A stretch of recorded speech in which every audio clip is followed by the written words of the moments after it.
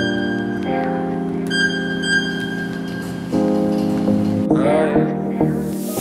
work the night shift till late in the PM.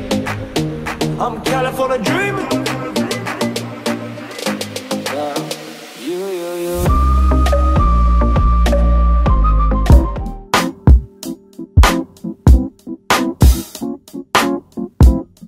Hello，那我平时喜欢的运动呢，就是跑跑步、健身，还有瑜伽。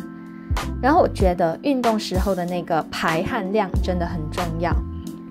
最近健身都有在穿 j o l i v i a 系列的运动装，然后我发现呢，就是不用做太激烈的运动，比如说短短三十分钟的瑜伽，就已经能够帮助我维持理想的身材。